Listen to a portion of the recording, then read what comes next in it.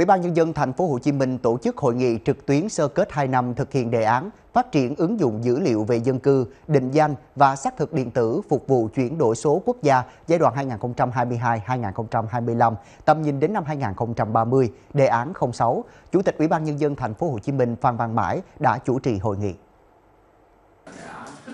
Báo cáo tại hội nghị, Thiếu tướng Trần Đức Tài và Giám đốc Công an thành phố Hồ Chí Minh cho biết, gần 2 năm triển khai đề án 06 trên địa bàn thành phố, các đơn vị nhận thức đầy đủ vai trò, trách nhiệm, nhiệm vụ cụ thể trong triển khai thực hiện đề án 06 của chính phủ. Từ đó đã có sự chuyển biến mạnh mẽ trong toàn hệ thống chính trị để triển khai thực hiện có hiệu quả các nhiệm vụ được giao.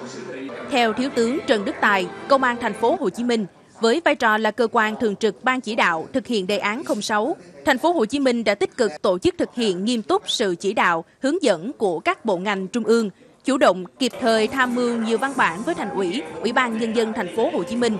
quyết liệt triển khai giải pháp làm sạch dữ liệu công dân, thành lập nhiều tổ công tác lưu động đến tận nhà dân để thu nhận căn cước công dân, định danh điện tử, phục vụ công tác đơn giản hóa thủ tục hành chính liên quan đến công tác quản lý cư trú, tinh giảm các loại giấy tờ cần thiết để thực hiện các thủ tục hành chính, giảm tối đa chi phí, thời gian đi lại của công dân.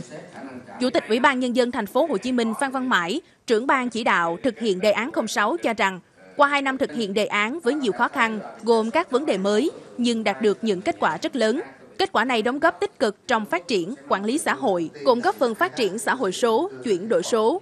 Với những khó khăn còn tồn động như một số dữ liệu chưa được liên thông, vướng mắc trong đầu tư, các vấn đề liên quan đến thể chế, các đơn vị tiếp tục tháo gỡ.